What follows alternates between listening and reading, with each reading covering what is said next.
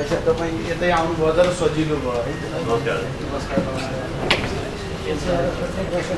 सम्पूर्ण साथीहरूलाई चाहिँ को लागि एकीकृत नेकपा माओवादीका अध्यक्ष एवं पूर्व प्रधानमन्त्री पुष्पकमल दाहाल प्रचण्डज्यूलाई हार्दिक अनुरोध गर्छु अतिथिकै रूपमा आशीर्वाद गरिदिनुको लागि एकीकृत नेकपा माओवादीका काउन्सिलिङ राज्य समिति गर्न चाहन्छु।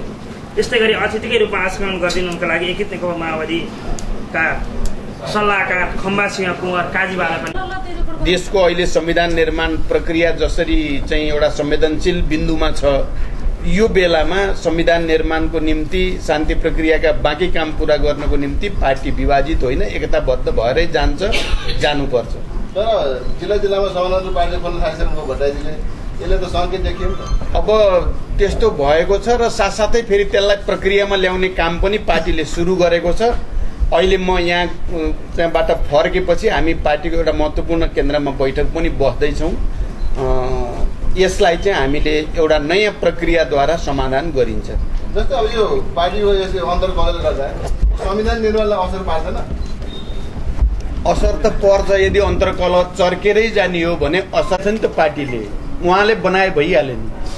संवाद समितिको सभापति त पार्टीले बनायो नि त उहाँलाई। त्यहाँ यो वायात कुरा उहाँले गर्नुभयो भन्ने मलाई विश्वास पनि लाग्दैन। तपाईँहरूले कहाँबाट सुन्नुभयो त्यस्तो होइन। सिङ्गै पार्टी संविधान निर्माण प्रक्रियामा लागिराखेका छ। पार्टीको एउटा वरिष्ठ नेताको हैसियतले उहाँलाई जिम्मा पार्टीले दिएको हो। उहाँले व्यक्तिगत सम्पत्ति पाए जस्तो गरेर संवाद समितिको सभापति पाएको होइन। किन चिस्यो तपाईँ र बाबा भट्टराईजीको सम्बन्ध?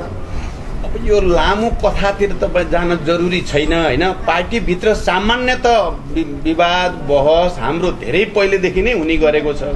आज मात्रै होइन दुई हजार एकचालिस सालमा यहाँ अहिले हाम्रो सल्लाहकार कमरेड काजी साहब यहीँ हुनुहुन्छ। पाँचौँ महाधिवेशन हुने बेलादेखि नै बाबुरामजी र मेरो बिचमा विवाद पनि भइराख्ने बहस पनि भइराख्ने फेरि एकता पनि भइराख्ने यो प्रक्रिया चाहिँ गएको तिस वर्षदेखि चलेको प्रक्रिया हो। तपाईँहरूलाई नयाँ सुन्दाखेरि अनौठो जस्तो लाग्न सक्छ। हामीलाई चाहिँ यो दुध भात जस्तो भइसक्यो।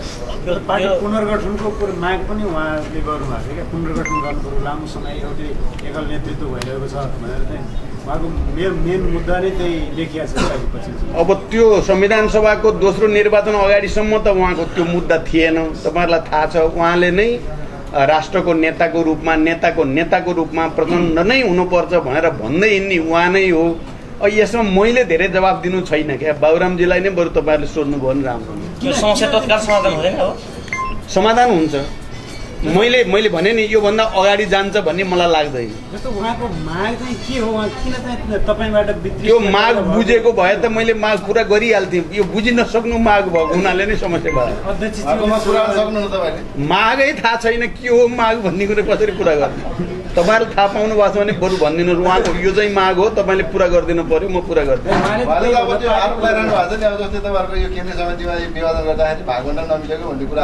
त्यो कुरो पनि उहाँले सिधा कहिले नि भन्नुभएको छैन। पार्टीमा भाग अलि हामीलाई पुगेन अलि बढाइदिनु पर्यो भनेको भए भाग बढाइन्छ।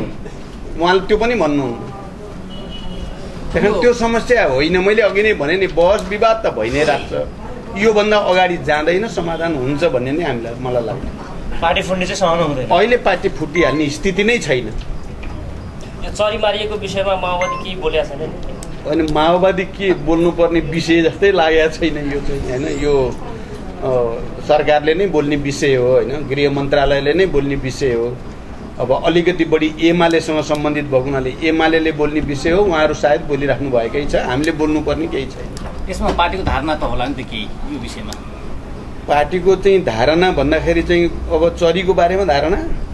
चरी मारिएको चाहिँ ठिक हो कि होइन? मतलब? त्यो कसरी मारिएको त्यो विस्तृत रूपमा मैले त थाहा पाएको छैन। त्यो घटना घट्ने बित्तिकै म यतापट्टि आएँ होइन?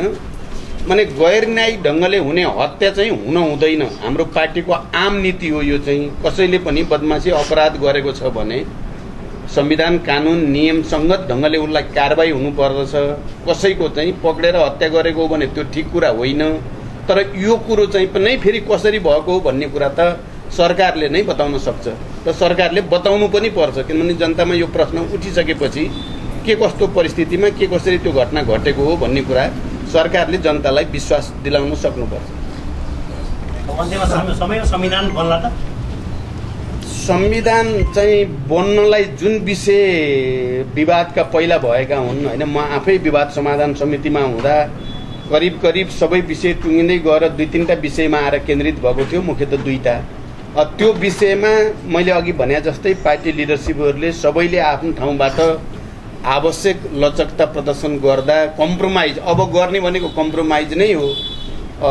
उचित कम्प्रोमाइज गर्दा संविधान बन्छ बन्ने सम्भावना पुरै छ। अहिले अब विगतको अनुभवलाई पनि मध्यनजर गरेर त्यसलाई पनि शिक्षाको रूपमा लिएर संविधान बन्ने सम्भावना अहिले छ र बनाउनु पर्छ। ल।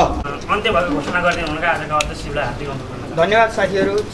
एकदमै छोटो समयमा साथीहरूले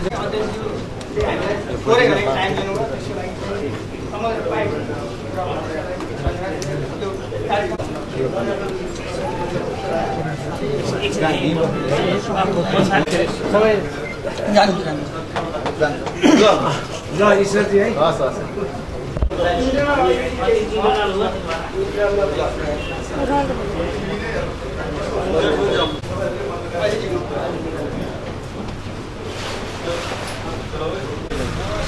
बेस